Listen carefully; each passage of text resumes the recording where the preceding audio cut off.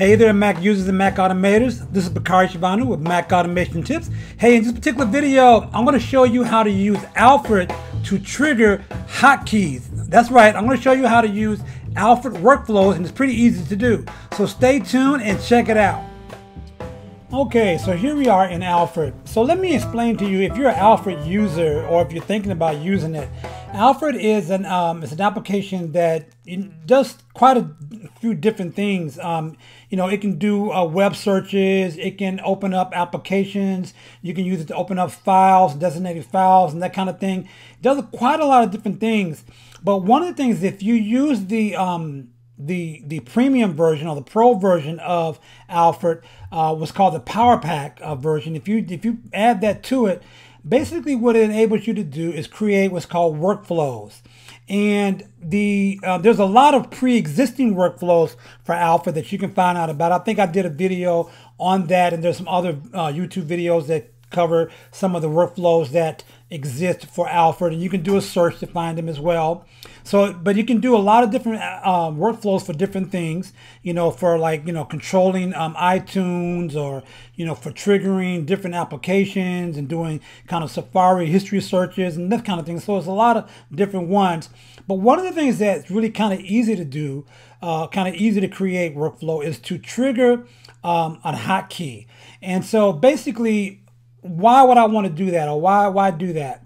Well, for me, I can't remember hotkeys that well. I, I, it's just too many to remember, and I don't want to feel like I don't feel like taking my hands off the main keys in order to try to find the keys that I need in order to click it. It's, it's much easier for me to use a keyword um, than it is for me to use a, a hotkey. I also do the same thing with Keyboard Maestro in that um, I use what's called string triggers, and I've done a video on that as well. Uh, string triggers are easier to remember than using hotkeys as well. So basically, in Alfred, you can trigger um, hotkeys uh, using a keyword. So let me give you an example of that. Now, I use an application called Screen uh, Float, and Screenfloat is a um, kind of a, um, a, screen capture application, so you can you know capture shots and take screenshots and all that kind of thing. And I've done a video on that as well. So if, if part of Screenfloat, you go up in the menu bar, you can open what's called the shot browser right here, and you know it has collection of all my uh, shots that I've taken or saved, right? So I can go up in the screen, I can go up in the menu bar and do that, or I can use the um, the the the hotkey that I've assigned to it, which is uh, Control Option J, right? So I can use that, but I'm not gonna, I'm usually not gonna remember that. So let me show you, if I use Alfred, and I just wanna, it's already done here, but I can just do this, and then click it there, and I'll open it up. So for me, I'm more likely gonna remember the keywords open B, which means for me in my mind, open browser, right? I'm going to much remember better than that, better than using the control option J. I'm just not going to remember that. So, um, and you can do this for, you know, any kind of, you know, application that you want to trigger. And the good thing about this is that you can trigger the app some applications in the background as well. So you don't have to have the application necessarily open in order for it to, to, to trigger. So how do you how do you go about doing that now? So it's really and it's not it's not that difficult. So what you're going to do first off, uh, the uh, Alfred workflows they give you a lot of workflows kind of to start out and to, you know to play around with um, to check out there. So you can use you know you're gonna get these getting started uh, workflows to see how kind of it works. But here we're going to start a blank workflow. I'm going to show you how I put this together. So we'll just say screen flow browser. okay and then basically right here what you're going to do is you're going to drag um, uh, an icon of, of the application that you're that you're triggering here so you can always go on the you can take a screenshot of the icon or you can go on the internet and get the icon file and just drag it in there all right and so and then you can also put it in a category if you have categories I, I can put it in tools for example all right, so you want to create that. And so if you have the icon there, it will show up like you see it uh, on the rest of them. All right, so you, you get that part here. Then you're going to do is you're going to right click on um, the editor here, right? And you're going to, first off, you're going to do um, let's see, you're going to go, still going to start with um, triggers and see input. Oh, yeah, I'm sorry, you're going to go to inputs. When the input is going to be your keyword, and you're going to put the keyword that you want to use. So say we just open B here. Hopefully that wouldn't be a problem. And um,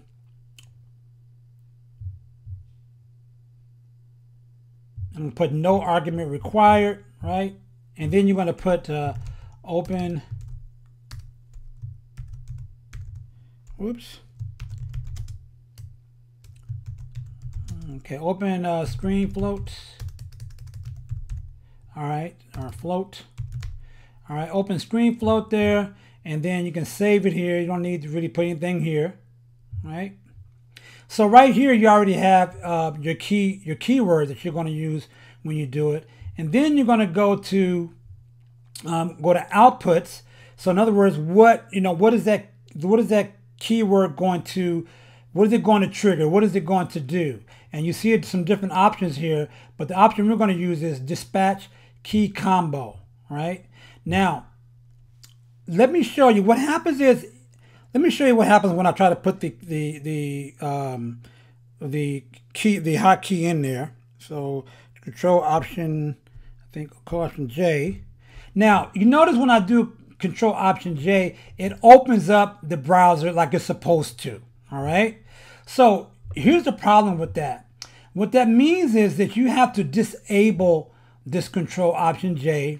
You have to take it off, then put it into here, and then come back and put it put it back um, in the application there in the preferences, right? And so that's what you have to do there. I don't know why the Alfred preferences doesn't block. You know, while you're in the editor, you it should be able to block any use of shortcuts um, outside the editor, but it doesn't really do that. So then you can just save it here, right? And so now you got your your here's your keyword and here's your combo, and then all you have to do is connect those two right there and then it will work. So that's how you put it together and you can you know you can just string this across. Like um, for example i have another application called amphetamine and um, basically what it does is that this application will when you when you start it it will keep your um, it will keep your your your computer from sleeping, right, for a designated amount of time. So I can I can put in the keyword start, and it will trigger this, um, you know, option control. I think uh, semicolon, right, and then the same thing when I when I type in end, which means you know in the um, the, the automatic non-sleep, right? Um, that will also trigger it again to end that session. So you can you can kind of build this up, you know, and, and based on what your, particular needs. But um, it's really easy to do, and there are some other kinds of workflows.